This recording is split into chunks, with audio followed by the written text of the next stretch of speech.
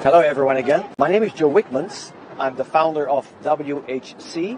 What means WHC, Women Health Consulting or Men's Health Consulting? Now, I'm already in the medical and food uh, industry since more than 30 years. I started to study food medicine. And uh, food medicine means getting better by eating certain foods. We in the West, we eat something, when we are sick, we eat something, and it's just wrong. So we try to learn people how to get better by eating the right food when you're ill. So that's why 30 years ago I went to study what we call orthomolecular medicine. That means you're going really in detail what some food and what supplements can make you more healthy. Therefore, my, my aim was not only just doing a supplement business, while everyone is doing supplement business.